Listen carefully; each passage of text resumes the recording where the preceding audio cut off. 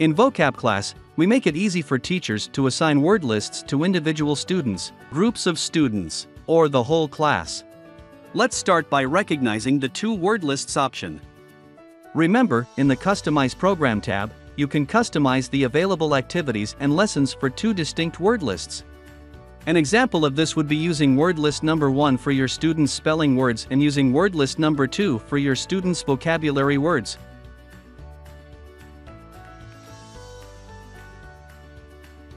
Now, with the Assign Word Lists feature, you can select the actual lists you want to apply to word list number 1 or word list number 2, or both, and assign these to your students. Before we start the actual assigning of word lists, let's first review the options available in determining which students you want to assign word lists to. Step 1 allows you to use filters in selecting students, teachers can filter by grade or groups.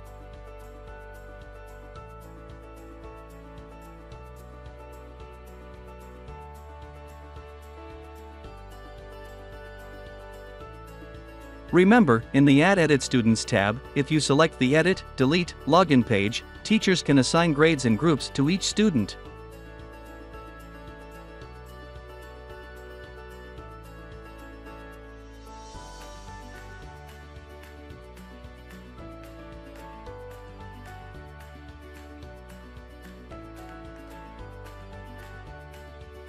In this demonstration, we put our students in 3rd, 4th or 5th grade and also put them in groups consisting of below grade level, on level or above grade level.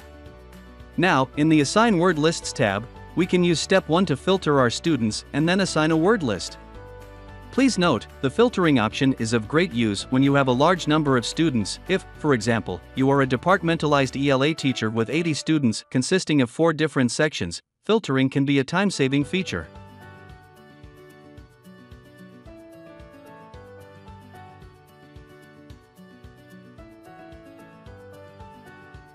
If you have applied a filter, those filtered students appear below. If you did not apply a filter, all the students registered in your VocabClass teacher account appear below. The next step. Step 2 is to decide if you want to assign a word list to each of the filtered students or all of your students. If so, click the checkbox in step 2. Alternatively, you can leave the box unchecked and move below and select each student you want to assign individually.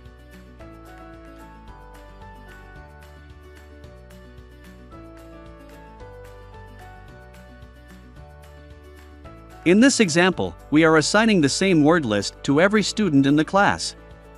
We start by not using a filter in step 1 and go directly to step 2, option 1, and click the checkbox. Now that all the students in the class are selected, stay in the option 1 row and select a list type. The list type pull-down menu wants to know from where do you want to select a list group. From vocabulary lists, spelling lists, your teacher lists, published lists, or themed lists. Please note, teachers can go back and review all of the available lists in the Manage Word Lists tab and see all the words in each list, print those words and definitions, review associated printables,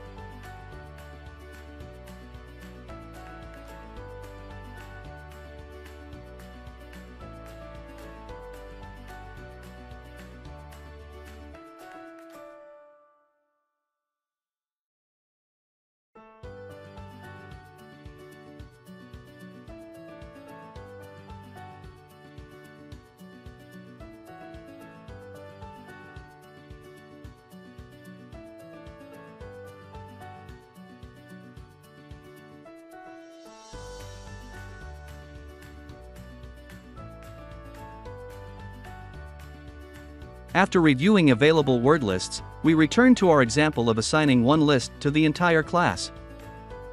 We first select spelling as our list type, then pick the group entitled Spelling Rules 4th grade. From there, VocabClass will ask the teacher an important question. Do you want to schedule specific lists by date? If you answer no, all 34 of the lists in spelling rules 4th grade will be available to your students at once. Most teachers want to schedule one list at a time and they use our list scheduler feature to assign date ranges of availability to each list. To do so, teachers need to click the red Yes box to access our list scheduler feature.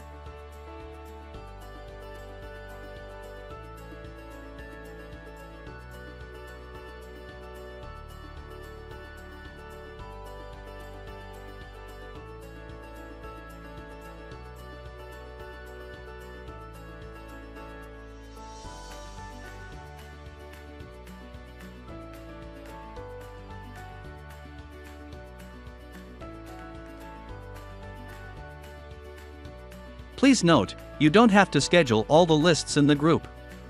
Any list that does not have an end date assigned will not be available to your students. Only lists with both a start and end date will appear to your students during the date range assigned.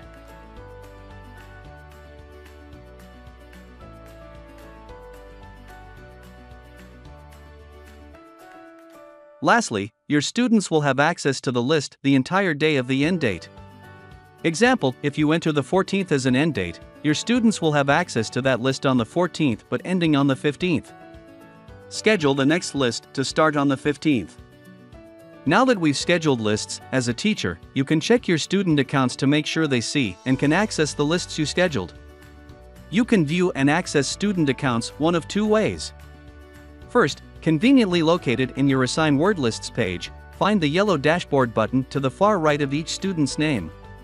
Click that yellow button to view a screenshot of what your student sees in their VocabClass dashboard, namely, the lists currently assigned to them. In this example, Gabby S.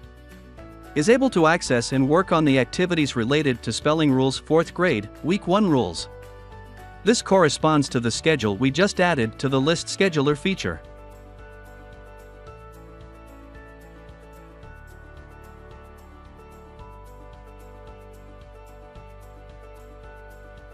The second way a teacher can check to make sure their students are seeing and have access to the lists they assign is to actually log in as your student.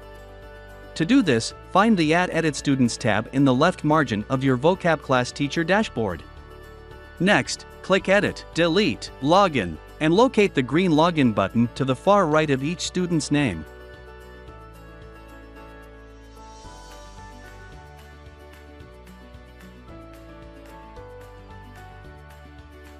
You are now logged into your student's account and can check list assignment and access.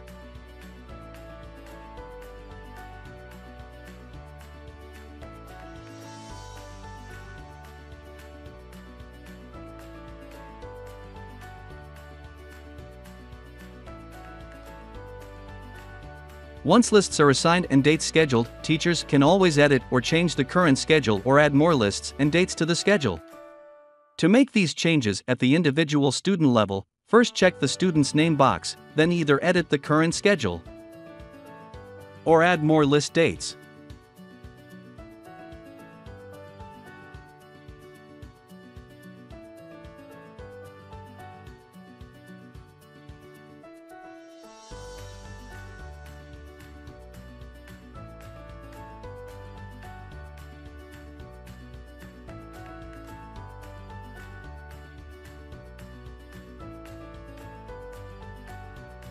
To make changes at the classroom level to all students, return to Step 2. Option 1. Remembering to select the All checkbox.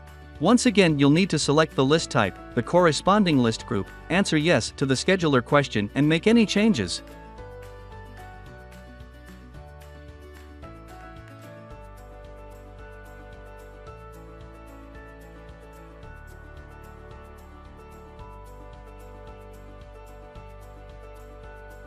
To start over and clear all lists from every student, select the All checkbox and find the red Reset button to the far right. Click that to reset all the students. With the ability to assign and schedule lists to filtered groups, the entire class, or individual students, there are countless combinations a teacher can take when it comes to assigning lists. Let's review one more scenario in our demonstration classroom where we assign different lists to filtered groups and individual students.